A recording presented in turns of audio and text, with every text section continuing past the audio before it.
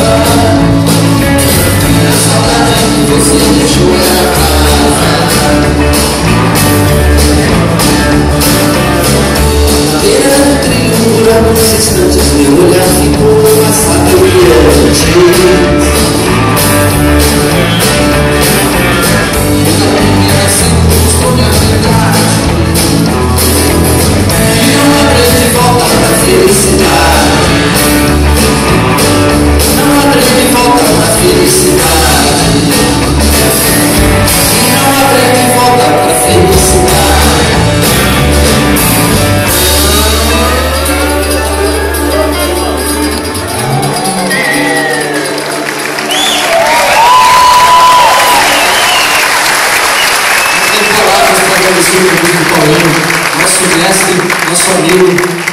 E é um cara, pô, dono de uma cabeça que só cria coisas bonitas.